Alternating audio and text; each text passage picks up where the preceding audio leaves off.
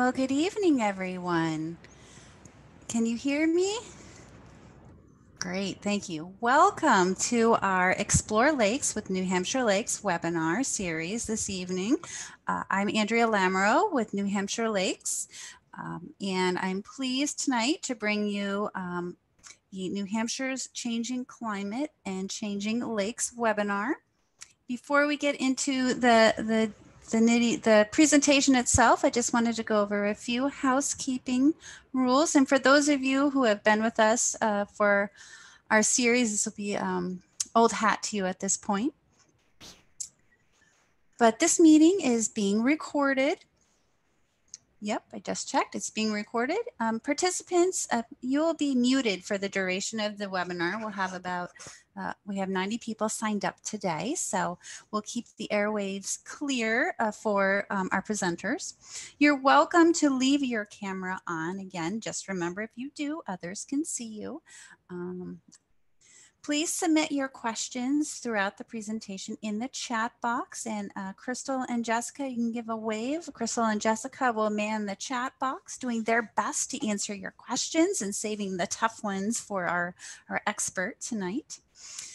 And uh, as usual, about 15 minutes after this session, you'll receive an email from me inviting you to evaluate the session. Let us know what you liked, what, what else you want to learn.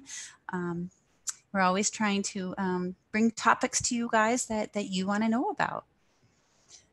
Uh, tomorrow, actually, you will then receive an email from me um, with the links to this recording and the links to the slides that will be posted on our website so you can see them again or share those with someone you know who couldn't turn in tonight, tune in tonight.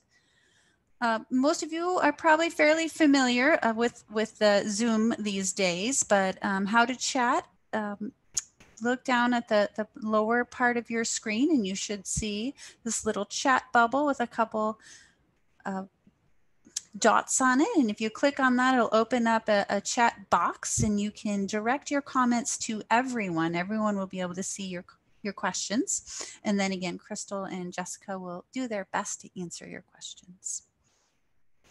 So your host this evening, um, again, uh, I'm Andrea LaMoreaux, and we've got Crystal and Jessica um, on the conservation team here at New Hampshire Lakes. And for those of you who are new to New Hampshire Lakes, we are a statewide member supported nonprofit organization, and we work for all of New Hampshire's 1,000 lakes. We have many members um, on the call uh, this evening, including several board members. So thank you all for your support. Your support makes this work that we do possible. If you aren't a member, we, we do encourage you to consider becoming a member. Um, go to our website at nhlakes.org and learn more about what we do and how we work with you for clean and healthy lakes. Um, again, it's our members that help us bring um, this type of programming to you, so thank you. Our mission, simply put, is to keep lakes clean and healthy now and in the future. And we work with a variety of partners, including state agency um, staff like Sherry here. And um, we work with municipalities, local groups, all to help keep our lakes clean and healthy for everyone to enjoy today and in, in the future. If you know us at all, you may know us through our Lake Host program, our most popular conservation program out on the ground. We um, staff boat ramps throughout the state, helping boaters take simple actions to keep our lakes clean and healthy and free from invasive species. And we do advocacy at the State House and we do outreach. And in a normal summer, we visit communities throughout the state and bring hands-on programs and activities to, to youth and their, their families. Couldn't quite do that this year, but we then came up with the idea of uh, weekly webinars during the summer and now monthly webinars during the downtime. So thank you for tuning in tonight. Please tune in and register for um, our next one in January. Crystal and I will be presenting about all the fascinating things about lakes in winter. Um, and I'll just give you a, a, heads up in February, we're going to have an awesome presentation about bald eagles and New Hampshire's lakes. So again, you can find out all about see past presentations and register for future presentations at our website. But with no further ado, I'm so pleased to have Sherry Godlewski with us uh, this evening, and she's going to spend the bulk of the presentation this evening uh, bringing us all up to speed on climate change, um, what that means, what's happening in New Hampshire, and what we can do about it. And I'll round out the presentation with just some specific um, information about our lakes. So Sherry, I'm going to stop sharing my screen and you should be able to share yours.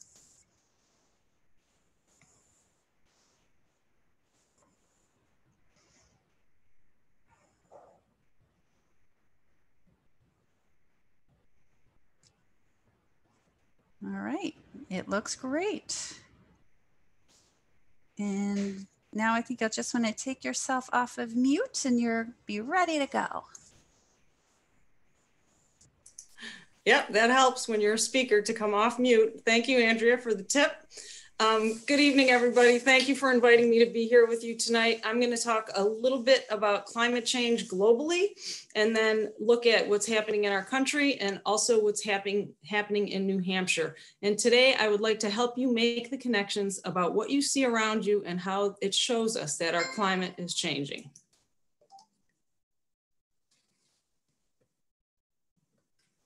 Okay, I am there we go. All right, so this illustrates what happened to our country last year. There were 14 separate billion dollar weather and climate disasters that occurred around the state around our country. And it totaled $45 billion in cost to recover from these disasters.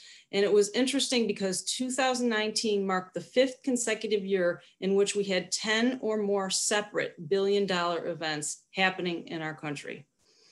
And these happen in New Hampshire too. And many of us who've lived here for a long time say, yeah, I remember this happening often. And sure, if you look at the 50 years between 1953 and 2002, in that 50 year period, we had 15 disaster declarations and three emergency declarations.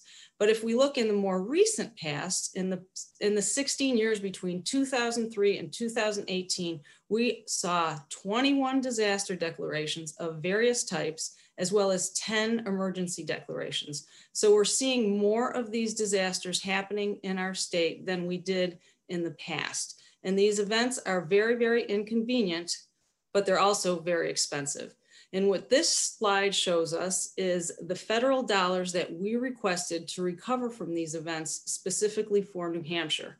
And I normalized all these dollars to 2017 dollars so we can compare apples to apples. We see the 1998 ice storm there, but then we see something happening right around 2003, 2005. We're seeing almost a need for federal help annually. So we're seeing these disasters annually. And while the federal government through FEMA does provide us with recovery money, it doesn't provide us with 100% of the costs. So we have to provide at least 25% of the cost for each of the disasters that we, we are impacted by in New Hampshire.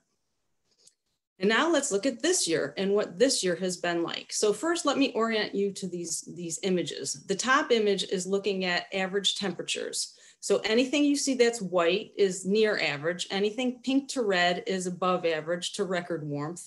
Anything blue is below average and anything darker blue is record cold. So you can see that our country was pretty much above average in our section of this of the country we were much above average for january and now in the image in the lower right this is looking at precipitation and same sort of color scheme where white is average anything blue to darker blue is wetter than average anything light tan to darker brown is drier than average so you can see that in new hampshire we had a hotter than average temperatures for January and we had lower than average snowfall. In the top of Coos County, they were about average, but for the rest of the state, it was low average snowfall.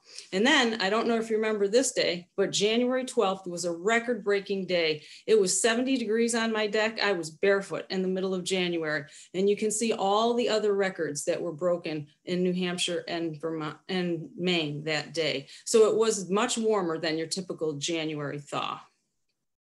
And it's important to recognize that we're not just warming on our terrestrial areas, we're also warming in our ocean. The oceans absorb a fair amount of heat as we as we put more carbon dioxide into the atmosphere. In January 2020 was the planet's warmest January on record since record keeping began.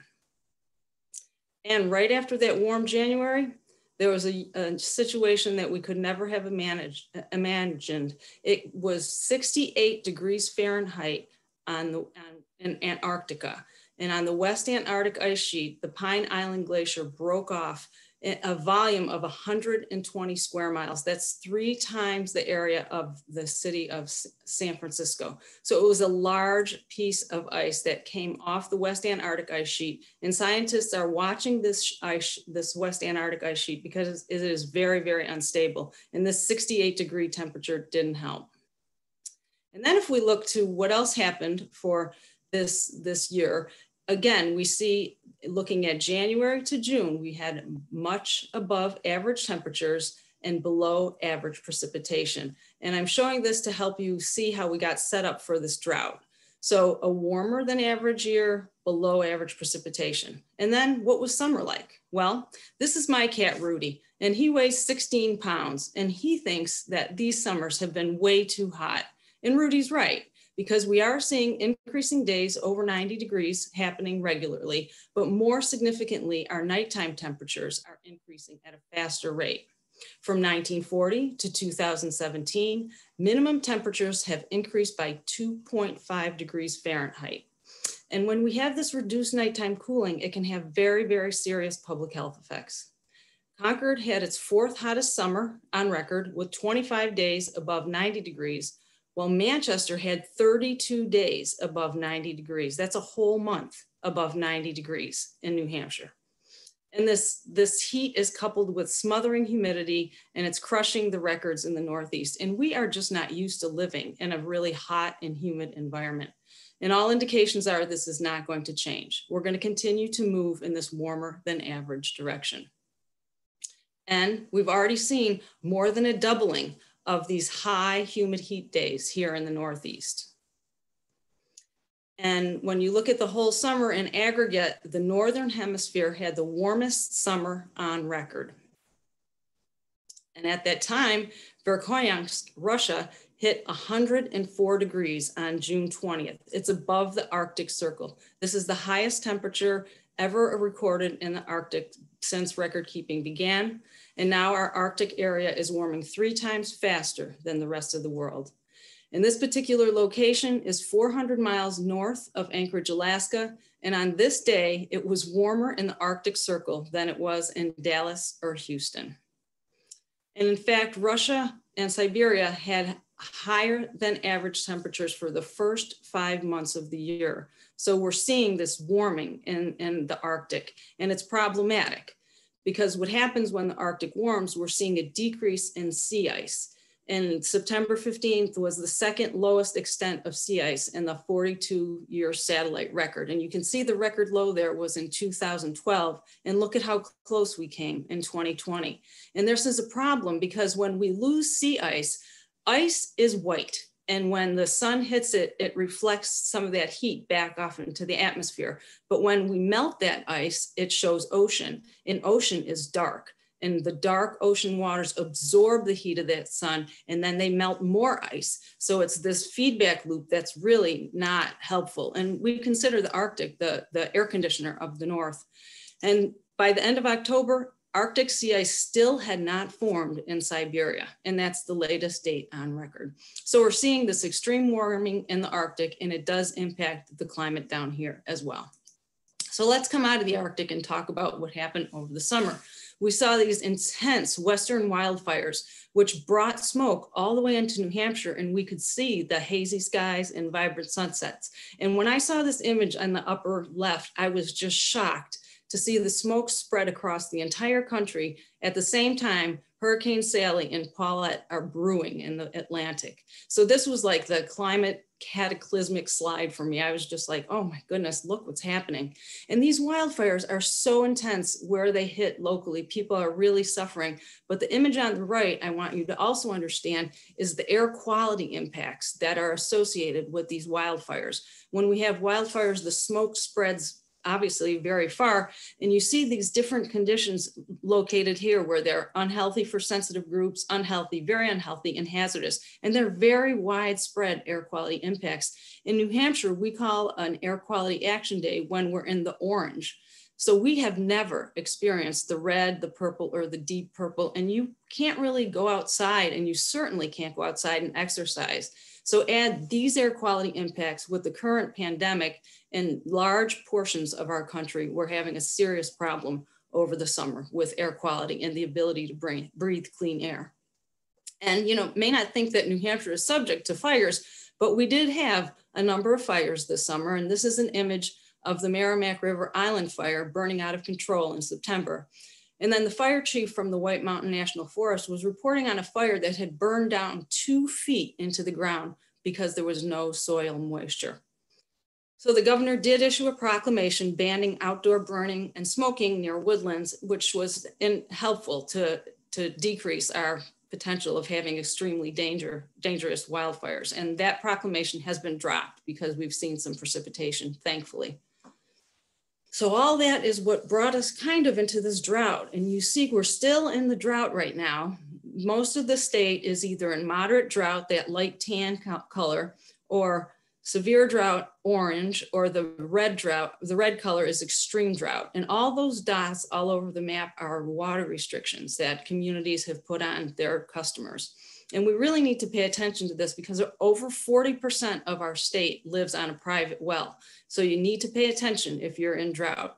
And then a couple weeks ago, we released a press release saying that we may be in risk of a multi-year drought as we head towards winter. Because if we freeze up, any precipitation we get is gonna run off. It's not gonna percolate into the ground. And if you look at the country, you see the same sorts of conditions in the Southwest where they are in exceptional drought. You see that D4, that dark brown. But the other thing I want you to see on this map is the S's and the L's. And the S indicates a short-term drought, less than six months, and L is a longer term drought. And you would expect to see longer term droughts in the Southwest, but look at the Northeast is looking at potentially a longer term drought. And the only place in the country that isn't in drought is the Southeast, and that's because they were hit by hurricanes. This was a very active hurricane season. I'm sure you've heard this on the news. We had 30 named storms, 13 hurricanes, and six major hurricanes, 12 of which hit the United States. This season stayed unusually active into October and November. And the last category five, the latest category five storm ever to hit here was on November. It didn't hit here, it hit other places, but it was that late in November, November 16th. So these warm ocean and sea surface temperatures that are indicators of a warming planet are fueling these intense hurricanes, making this one of the most intense hurricane seasons on record. So there's this new science where scientists can now link these extreme weather events to carbon dioxide in the atmosphere from the burning of fossil fuels. And so more atmospheric carbon dioxide boosts the odds of having these extreme weather events and punishing storms. And in 2016, the National Academy of Sciences released this statement. And what they said was as the climate has warmed over the years, a new pattern of more frequent and more intense weather events is unfolding in the United States and across the globe. And because of this new rapidly advancing area of science called event attribution, we can now estimate how climate change increases the risk to society from some of these types of extreme events. So this event attribution is really new cutting edge science and it helps us to understand what our future storms might look like based on the CO2 in the atmosphere. And in fact, Hurricane Florence was the first forecasted storm with an attribution statement. And in the forecast, they said that the rainfall will be significantly increased by 50% and the storm will be 80 kilometers in diameter larger because of the human interference in the climate system. First ever statement written, released like that. And when they did the retrospective analysis of the, the, the forecast, it held up. So it was a very good forecast. And now you can imagine there's a lot of public interest in the science of attribution. So let's just talk about weather and climate. First, weather is a given set of conditions at any point in time, right? Yesterday it rained, today it was sunny. When we talk about climate, we look at the average set of conditions over a 30 year period. So you could think of this like weather is your mood today, whereas climate is your personality. So this is how it happens. Our planet is hit with solar radiation from the sun, and much of that heat is absorbed, which allows us to live here and have a comfortable life. Some of it is reflected back off into the atmosphere. And surrounding our planet is this blanket made up of all different types of gases. And as we burn carbon, as we burn fossil fuels, we put more carbon dioxide and other greenhouse gases into the atmosphere, making this blanket thicker. So just like if you were in bed and you added a big quilt, you'd get a little bit warmer and you might even get a little bit sweatier. And that's what's happening to our planet as we put more greenhouse gases into the blanket that surrounds us. And over the past 50 years, the average global temperature has increased at the fastest rate in recorded history. And this is due to the burning of fossil fuels, both for transportation and electricity generation. And transportation is number one now, and that just flipped in 2016 because we've moved away from electricity generation from coal fired power plants. We're using more natural gas, which is still a fossil fuel, but it has less greenhouse gas emissions. We're seeing some efficiency initiatives, we need more, and we're seeing some um, renewable energy on the grid as well. So transportation is our number one contributor now to these greenhouse gases. So this global warming causes the climate to change. Those greenhouse gases trap heat, warm our atmosphere, change the water cycle, warm oceans, melt glaciers, and cause sea levels to rise. And it also affects plant growth because plants love carbon dioxide. And this all started during the Industrial Revolution. We became very mechanized. We were burning fossil fuels. We were creating great things. It was an industrious time for us. And since that time, we have raised the atmospheric carbon dioxide levels from 280 parts per million to 411 parts per million. And we know this because we can measure it. And the way we measure it is scientists like Dr. Cameron Wake, pictured here with his team of scientists in Nepal, and they're drilling down through those glaciers. You can see the ice core in their hands, and they drill down and pull up ice that they then analyze and they can take thin sections of the ice or they can melt it to see what are the constituents of our atmosphere when that layer of ice was laid down. And in the image in the lower right, you can see those black blobs. Those are, are elements of carbon, they indicate carbon dioxide that was in the atmosphere when that layer of ice was laid down. So we can learn a lot through ice cores and drilling into our past to understand what our atmosphere was like. But we need to know what's happening now as well and we're doing ambient monitoring or background monitoring of carbon dioxide and other greenhouse gases at Mauna Loa in Hawaii, where we've been collecting data since 1956, and at other stations around the planet. So we have a very good record of what's going on with carbon dioxide in our atmosphere. And so now let's take this graph and think that we're looking down one of those ice cores. And here's the Industrial Revolution, and we're looking all the way down one of those ice cores back 400,000 years. And this shows us the concentration of carbon dioxide in the atmosphere. And you can see that there's natural fluctuations in the carbon dioxide. But what you see is it never goes above 300 parts per million. And as I said, at the Industrial Revolution, we were 280. Well, here we are today. So we are seeing a concentration of carbon dioxide in our atmosphere that we have not seen in over 400,000, even going out farther to a million years.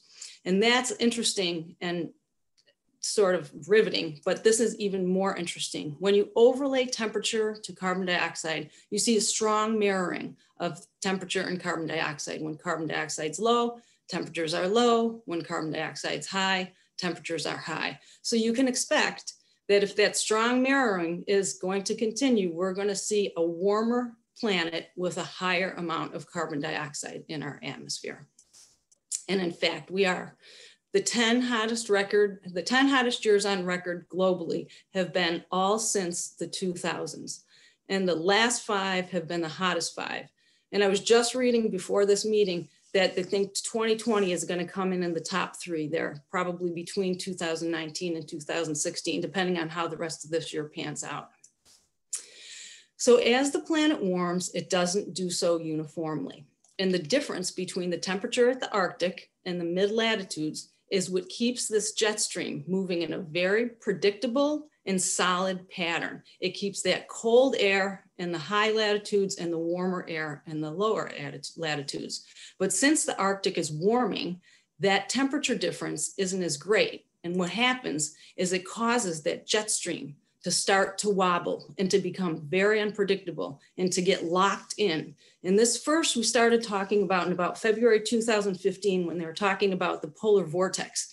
And we were freezing. We had tons of snow. Everybody was cranky, while Alaska was really warm and they had to move the Iditarod dog sled race farther north and truck in snow for the start.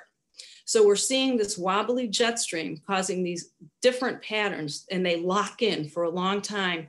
And we first started seeing it at the polar vortex. And here's a, an image from the polar vortex of last year where we have that Arctic blast covering our country while most of the other parts of the planet were warmer than average. So this jet stream changing also happens in the summer. And during the summer, because warm air holds more moisture, and when it's hit with a hurricane, that moisture manifests as intense rainfall. And we've seen this when we've seen some hurricanes like Sandy or Harvey, where it dumped 60 inches of rain on Houston, Florence, 30 to 40 inches of rain in North Carolina. So this, this changing jet stream is something that we really need to pay attention to, and it's projected to increase by 50% if these emissions go unchecked. So we are changing our atmospheric currents. Now let's talk about our ocean currents. First, if you look at this image, you can see with the temperature scale at the bottom that in general, the, the ocean temperatures are warmer than average. Now let's look at this ribbon and let's think of it as a conveyor belt. And so what happens is warm surface waters move into the northern latitudes where they are cooled and cold salt water is more dense than warm salt water. So that cold salt water drops down deep into the ocean and forms a deep ocean current that swings down through and feeds this cycle again and again. So what's happening is because the Arctic and Greenland are melting at such an incredible rate, they're dumping cold, fresh water into the system. So when these warm surface waters move up in here, they're getting cold, but they're getting diluted. So they're not as salty, so they're not as dense, so they're not dropping down. So this whole system is very, very sluggish. We have not seen a sluggish system like this in a thousand years. And you know this if you've gone swimming in the ocean the past few summers. The area off our coast is called the Gulf of Maine, and the Gulf of Maine is warming seven times faster than the rest of the ocean because of this Gulf Stream weakening. So we're altering our ocean currents as well as our atmospheric currents. So luckily for us, we have local and regional climate assessments that were put together by Dr. Cameron Wake and his team at UNH. And I'll discuss some of the projections uh, from the northern and southern one at the end of the presentation. But what we've learned from these, these assessments that Cameron and his team have done is we've already seen an increase in precipitation in New Hampshire in both rain and snow, and it's happening with greater amounts and greater intensity. We've seen these increases in average temperatures with more increase in temperature in the winter, increases in extreme weather, changing seasonality, lake ice out is changing, and um, Andrea will talk more about that. We're seeing periods of drought, and we do see sea level rise in coastal New Hampshire today. Portsmouth sea level rise has already risen six inches since 1926, and we're seeing weekly high tide flooding in Hampton. People cannot park their cars on the street once a week in Hampton, New Hampshire. And when sea level rises, groundwater rises. So we see an increase in groundwater levels as well. So here's some illustrations. We've already seen a 71% increase in very heavy precipitation in the Northeast. We're seeing this winter warming upwards of four and five degrees in New Hampshire since 1970. And then we're seeing these periods of drought. This was the 2016 drought. Again, a pretty significant drought for us here in New Hampshire. And then here's images of sea level rise. These are taken at a king tide, which has nothing to do with climate change. It's just some of our highest tides of the year. But you see Hampton there. It's a beautiful day and the streets are flooded. So this is a big concern. Our coastal region is very vulnerable. So I just want to back out and say climate change is real. 99% of climate scientists agree that climate warming trends are due to human activity. And it's already occurring. We can see the impacts of climate change in our communities across the country. And these extreme events damage our infrastructure, they hurt our local economies, and they impact the vitality of our communities. So what are we gonna do? Well, we have a choice. We can do nothing and just hope for the best, or we can start to reduce our use of fossil fuels to reduce the amount of carbon dioxide going into the atmosphere. And we can also begin to adapt. And we need to be able to adapt to the current impacts as well as our future impacts. So now let's talk about the future. What are we going to face here in New Hampshire? So first, let me orient you to the, the color schemes of these graphs. Okay, this is from the Southern New Hampshire report, and this is from the Northern New Hampshire report. This is from about Plymouth South, and this is Plymouth North. Actually, Plymouth, Tamworth, and Rumney are right in between. So you, will have to see which ones apply to your community more. The gray bars indicate historical and how, how, it, how the climate was during that 30 year period. The blue bars indicate if we have a lower emission scenario where we're doing something to reduce our impacts eh, and by reducing our fossil fuel emissions. And the red are business as usual. If we just continue what we're doing and continue emitting, we are currently in a high emission scenario. So really you've got to pay attention to the red bars. And the other thing I want to note is these scales right here are not the same on the northern and southern because you it, it has to account for the differences in the regions.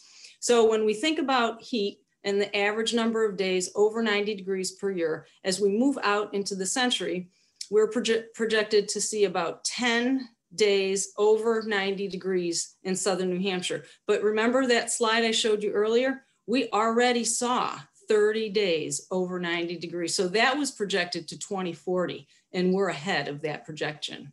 In the north, you're not seeing as great a warming, but you still are seeing much more warming than we've had historically. If you're a gardener like me, you might think, oh, a future growing season is going to be longer and that's exciting. Well, the future growing season is expected to lengthen by two to five weeks, depending on the emission scenario in the region. But because these hotter temperatures and reduced chilling at night, as well as the extreme weather events are going to happen, it will probably decrease our crop yields.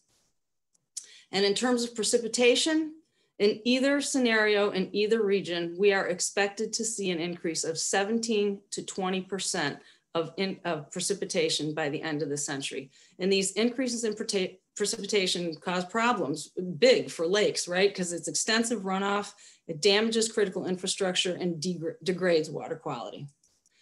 and if you like to play in the winter, this is a very sad slide.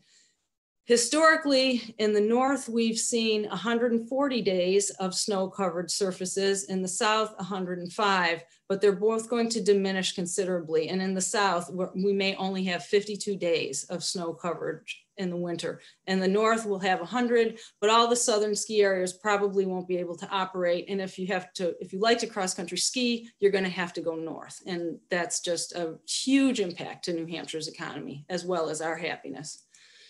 So, and then there's exacerbating issues, right? Our population is likely to increase, and we've already seen some of this with COVID 19. People are moving to rural areas because they don't want to be in, in, dense areas. But with climate, people might be moving from areas hit by hurricanes or intense wildfires. So, as more people move into our area, there'll be more development. More development causes more pavement. More pavement causes more runoff. People are going to build homes in risky areas. And currently our infrastructure is already undersized. So there's going to be more problems with infrastructure. At the same time, federal funding for these programs has completely diminished. And there's a lot of politics around these issues. And I'm sure we could talk more about these exacerbating issues.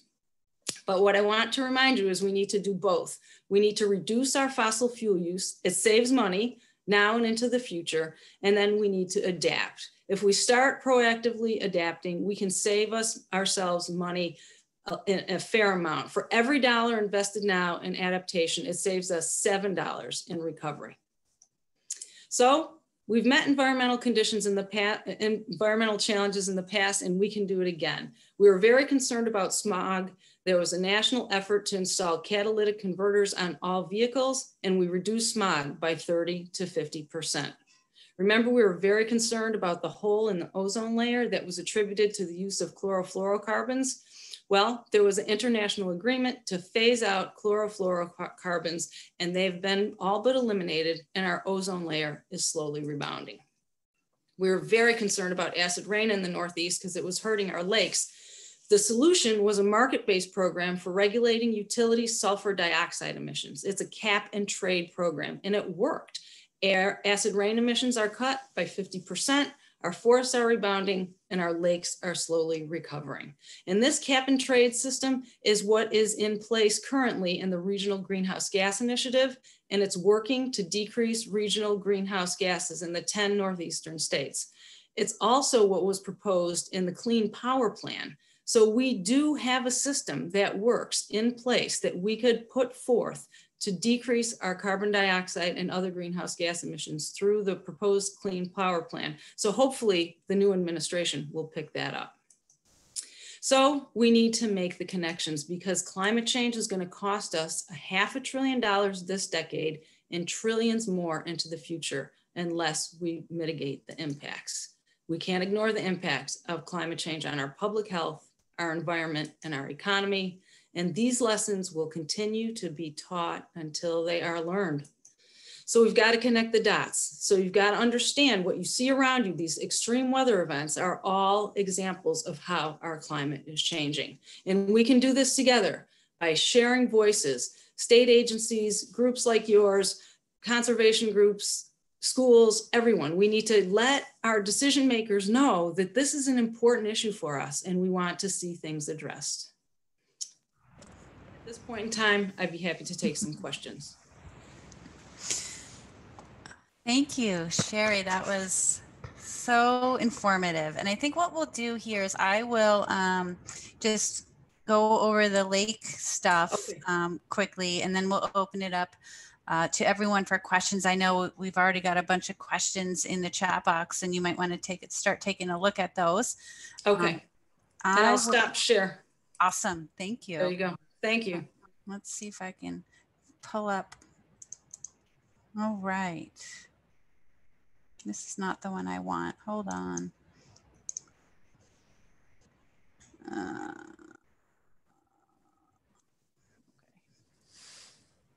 Let's see here. Of course, I had this all queued up and ready to go. Here we are. And now let's see here, share. All right, hopefully you guys can see that. All right, thank you for the nod. Okay, well, that's a hard act to follow. Sherry had a lot of great information. I'm just going to kind of take this from a high elevation, and, and uh, Sherry alluded to a lot of impacts um, that and I that could affect our lakes, and I just wanted to sort of bring those into a little bit more focus. Um, the good news is, right, New Hampshire, we all know this is home to some of the cleanest and healthiest lakes in the country. But our lakes in New Hampshire are showing more and more signs of being stressed uh, this here is a picture of a cyanobacteria bloom in one of our lakes. And if cyanobacteria is a new term to you, um, that's good news because it means you probably haven't seen it on your lake.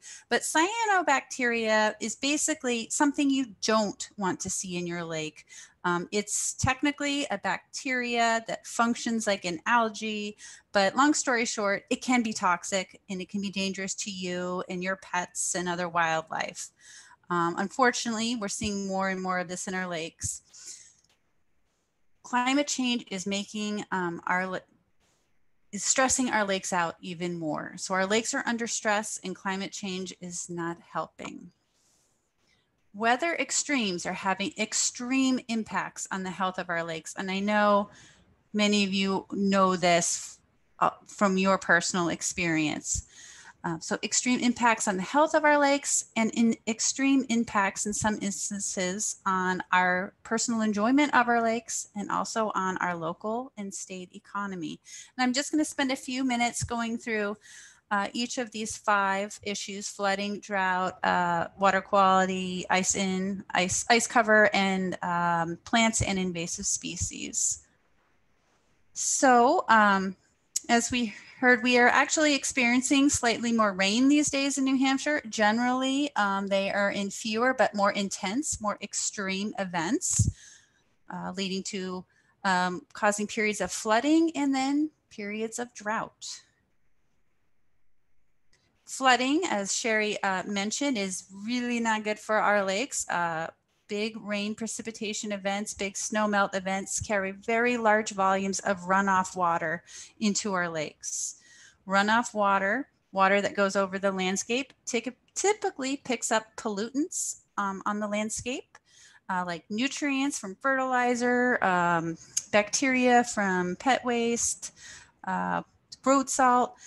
Uh, runoff washes pollutants into our lake, uh, primarily the nutrients that fuel the growth of plants, um, native plants and also invasive plants, plants we don't want, algae, and dangerous forms of um, bacteria and that toxic cyanobacteria I was talking about. And this year, um, the Department of Environmental Services uh, helps to monitor our lakes for toxic cyanobacteria. And this is generally not the sign you want to see um, when you want to go jump in the lake. Um, so they issue uh, advisories for when high levels of toxic cyanobacteria are observed in a water body. Periods of drought are not good for our lakes either. Um, here we see some pictures of some um, access and navigation hazards um, you know, um, this summer I went to plenty of lakes. There's actually um, uh, one of uh, the lakes up in uh, Pittsburg that we do our lake host boat inspection program at. One of the lake ramps there, the lake host called me up one day and said, What should I do? The water has receded, the boat launch, the ramp doesn't even reach the lake. I was like, What do you mean? He's like, Well, no one can launch their boat today because the lake's too low. So that's an access issue. Um, middle slide middle picture here you know we're not called the granite state for for nothing. Uh, we have big boulders in the middle of our lakes and with lower water levels more people are hitting those those boulders and damaging their boats. This here on the the right picture is Moore Reservoir up in the connecticut river region. It's this is um, very low water levels. That's a drinking water supply. So you know drought causes all a variety of issues, access issues, navigation issues, uh, water supply issues. As Sherry um, alluded, mentioned, um, on average, ice in, so the period, the, the date at which in late fall, early winter that our, that our lakes, you know, cover with ice, um, ice in is, in is generally occurring later and ice out, the period when the ice, you know, cover leaves the lake is occurring earlier on average. This is creating a shorter period of ice cover. This means that there's a longer growing season for plants in the lake, um, invasive plants too, so a longer season for your the milfoil to be growing or the fanwort, and potentially a longer season for that algae and then that toxic cyanobacteria. Again, the, that bacteria we don't want in our lakes. So longer plant growing season in our lakes is really not something we, we want to see a shorter period of ice cover and less solid ice cover reduces the opportunities for on ice activities. Uh, you know, our lakes usually um, are pretty popular during the winter. You we get a whole an additional season of recreation with an ice cover and plenty of different sports out there. Uh, we, you know, we we have a lot of fishing derbies. Uh, pretty cool fact: we have the only um, ice runway in the lower 48 states in Alton Bay on Lake Winnipesaukee. Uh, unfortunately, last, last winter it was not able to open because the ice was not uh, consistent or thick enough. Um, that was one of the first years in, in, a while that they weren't able to open. Um, and our, our lakes are really popular. Um, this is, if you've ever been to the Big Lake, um, this is a, the big pond hockey tournament. Several uh, pond hockey um, enthusiasts out there. So lots of opportunity usually for on ice rec recreation and a lot that recreation obviously brings in a lot of tourism, tourism revenue that's really important to our local and statewide economy. in general, we talked, we learned from Sherry that um, we're, we're warming, our air is warming, we're, we're having, you know, warmer temperatures. Generally speaking, the warmer the water is, the, the more um, active the bio biology is. So warmer summer lake water temperatures are fueling more plant growth, more algae growth, more bacteria growth, and again, more of that cyanobacteria growth. Um, and here is a, a sign you also don't want to see when you go to jump in the lake. The DES is saying, hey, you may not want to jump in here because we found high levels of bacteria in this water body. With warmer air temperatures, this is a, a bit of a science lesson here. For those of you who have been tuning into us, you've seen these slides before and learned a little bit more about how our lakes um, the physics of our lakes with temperature and density. But generally speaking, our deeper lakes in the summer warm up at the top and then some of that heat gets transferred down. But our, our deeper lakes usually end up being, um, they're layered. They, they have a warm, a warm layer of water at the top that's not very dense, um, sitting on um, down below a really cold, dense layer of water and then a layer of rapidly changing um, temperature and density water in the middle. But anyway, this is called lake stratification. And what happens normally um, in our lakes, deeper lakes during the summer is the oxygen, you know, starts to get used up as plants and algae and stuff fall down to the bottom and all the decomposers use up the oxygen. And what happens is nutrients start to build up. Um, in the bottom layer when the oxygen is used up. So with warmer temperatures, our lakes may stratify into those three different layers earlier in the summer and stay stratified for longer, which gives the lake, which will likely result in more depletion or more oxygen being used up at the lake bottom. And what happens then is again, if you've been tuning into us, you've learned about in the fall at some point our lakes, you know, that become the same temperature from the top to the bottom because of cooling and wind and they mix all up.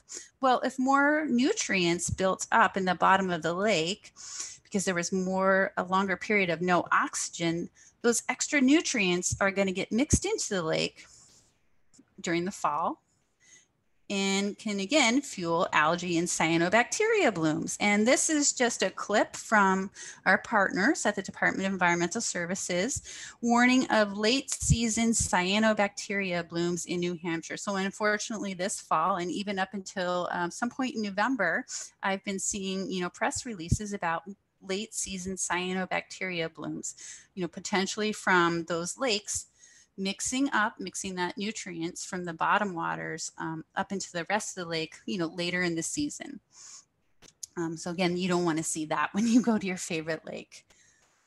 And in general, as our lakes warm, new invasive species may survive and thrive in our lakes. Right now, the biggest invasive plants in our lakes are uh, fanwort and milfoil, but we're worried about if our lakes start to really warm up, invasive plants that might do really well, like say in Virginia, you know, might start to find out that they can move northward and survive in our lakes too. Um, and, and, no one wants to swim through a, a bed of invasive species. It's pretty nasty. So that's just a real high quick overview of how some of what Sherry talked about may, you know, is already translating to um, our changing lakes, the, cha the way, you know, a different way in which we can use them and how it's impacting, you know, generally our, our local lake economies and our state economy. So the changing climate is making our work with New Hampshire lakes and, and, and all of your work, for those of you, I know those of you tuning in tonight really care about your lakes. Um, it's making our work for clean and healthy lakes, lakes more challenging, but it's making our work more important than ever. So I am going to stop chatting now and turn to Crystal and Jessica for them to start throwing some questions. And I know Sherry's got a bunch of questions for Sherry.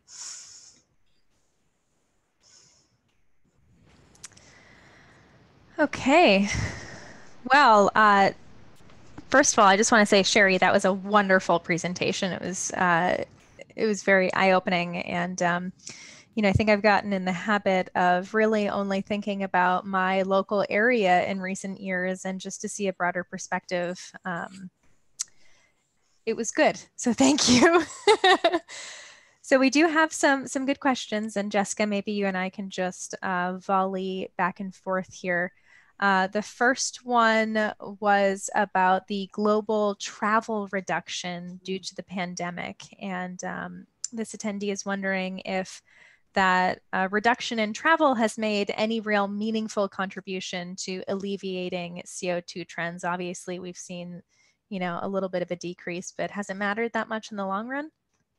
So great question. I'm glad you asked that. I get that question every time I present. And um, there's a difference between emissions and concentrations, right? So what we what we emit out our car driving wherever we go is one thing. The concentration in the atmosphere is a is a little bit different. And when you think about changing something as big as our atmosphere, just from you know one teeny pandemic it, it isn't going to happen so while we did see a decrease in transportation the concentration in our atmosphere really didn't decrease that much. And so we saw less travel we saw less plane travel but we did see an uptick in home deliveries right? So everybody's got an amazon prime truck going down their roads these days. Um, so so overall, there was not a huge decrease in emissions during the pandemic, and it did not change the concentration of carbon dioxide in our atmosphere at all. It was actually a bit higher at, in the end of September.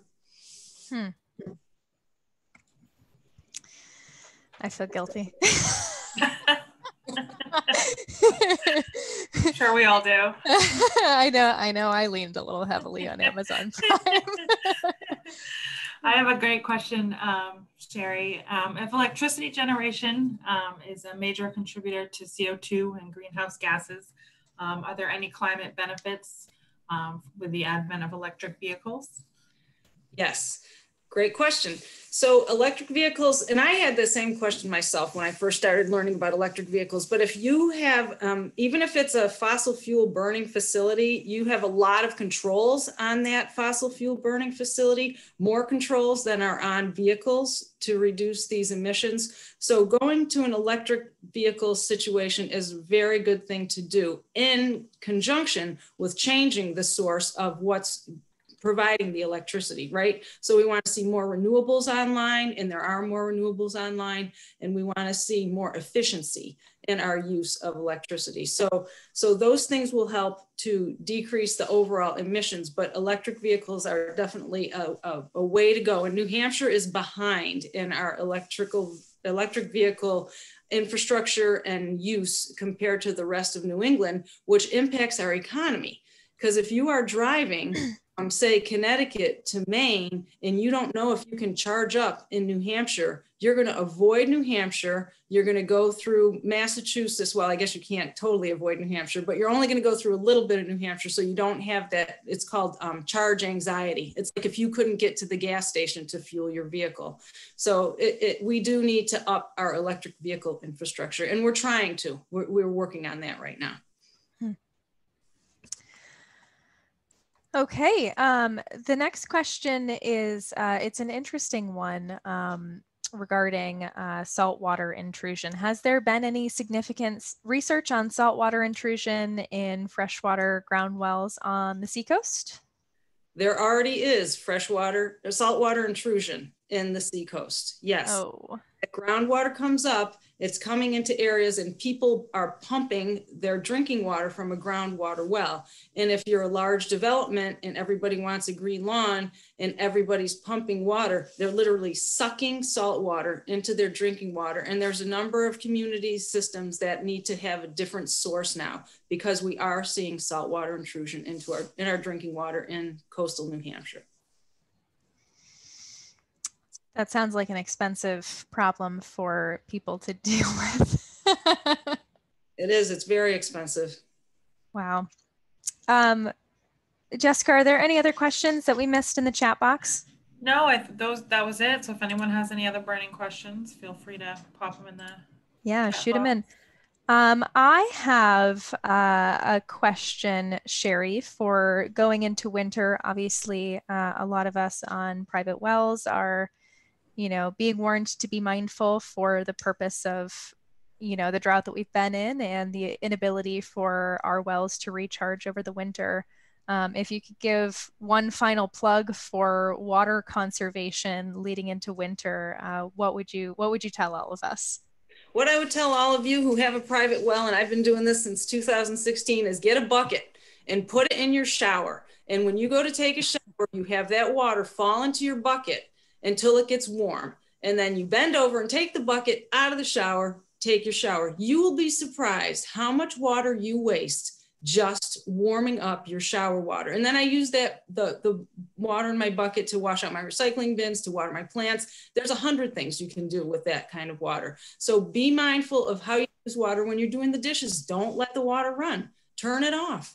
And the more mindful you are, the more you will set that routine for yourself.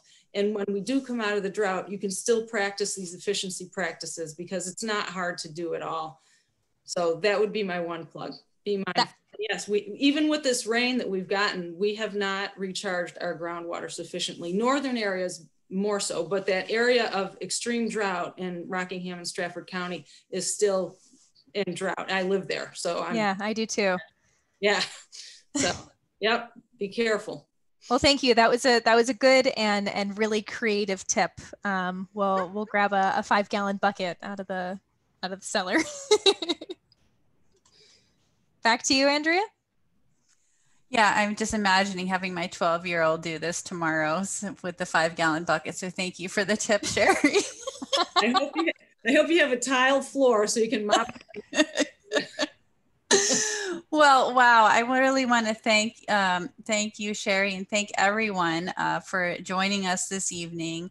Um, as I mentioned before, um, in, in 15 minutes or so, you'll get an evaluation email from us. Please let us know how you did and please let us know what you want to learn about in the future. Uh, tomorrow, you will receive an email from me with links to this recording and links to um, the slides. And um, please plan to join us um, in January um, for uh, Crystal and I to fill you in on all the cool and interesting things that happen um, to our lakes in winter. Um, but before I turn it, um, before we say goodnight, I wanted to turn it back over to Sherry. Is there any last things you wanted to share with the group or